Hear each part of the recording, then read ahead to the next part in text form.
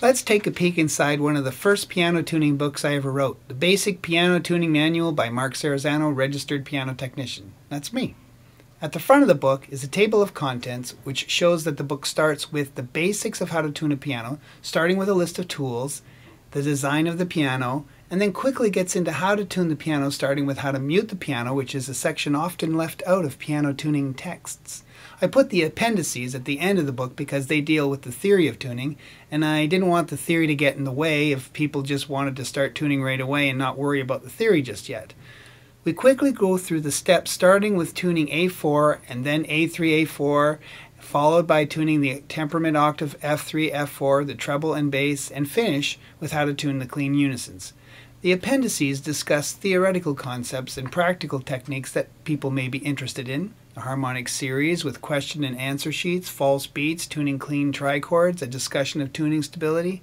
Included in the book are two temperament sequences, a basic fourths and fifths sequence, and my first sequence that I developed for more accuracy and precision. At the very back of the book are two sheets that help the reader visualize octave inharmonicity. The reader removes this page and cuts along the dotted line and then places that page on top of the next page.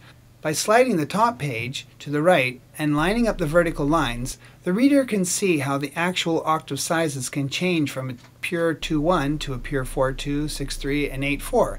And by moving the sheet back to the left, they can see the octave sizes change back from a pure 8-4 to a pure 6-3, 4-2, and 2-1.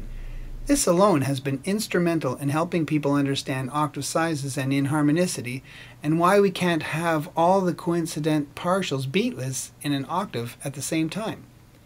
I wrote this book because I started teaching piano tuning 15 years ago in small in-person classes and I couldn't find any texts that included all the steps needed to tune a piano, all the way from muting the piano to cleaning up the unisons. Now I have made it available for anyone to purchase. If you are looking for more information on how to tune a piano, this book is a good starting point. You can purchase it at store.howtotunepianos.com. If you have any questions, I can always be reached at mark at howtotunepianos.com.